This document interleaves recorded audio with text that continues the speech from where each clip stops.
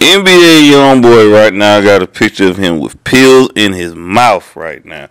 I don't know what's going on with Kentrell Gaulden, but he got them got a lot going on. He got pills in his mouth with chains on.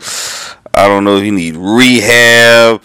Uh, he had a picture one day recently saying that's why I answered the phone with pills. I don't know if he has an album at first.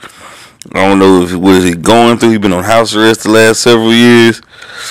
Uh, this the fuck this shit going on right now, man. Like, I, I don't understand with young boy. Maybe he's going through a lot of depression, pressure. Uh, man, got like fucking a football team of kids and shit. You know, lawsuits. You know, he's going through some some type of thing, man. He got some type of problem. I'm assuming. You know, the leashing, the, the lashing out on people on social media.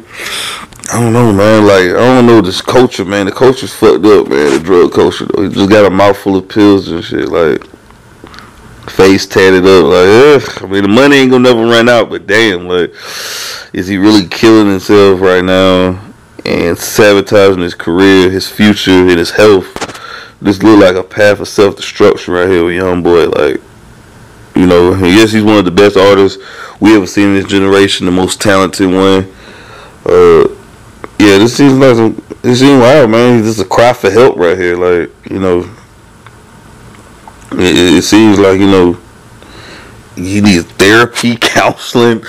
I don't know. You need some type of professional help or treatment because this is not normal posting pics of you doing pills in your mouth and shit. Like this, this is crazy. This is sick. Like, yeah, this some sick old shit right here. We all like, comment, subscribe to the video. I'm out.